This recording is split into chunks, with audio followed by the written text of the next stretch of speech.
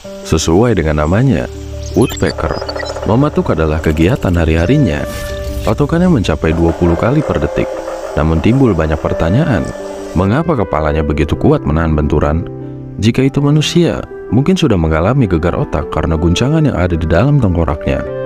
Kekuatan mematuk tersebut memang melebihi ambang batas kekuatan otak manusia. Namun otak burung pelatuk yang lebih kecil dapat menahan benturan pada kayu yang tidak melebihi ambang batas kekuatan otak mereka. Populasinya tersebar di dunia, terkecuali di Antartika. Sayangnya, beberapa subspesies dari burung ini dinyatakan berada dalam ambang kepunahan.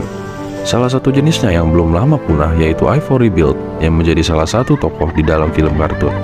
Ia dinyatakan punah di Amerika Serikat pada tanggal 29 September 2021.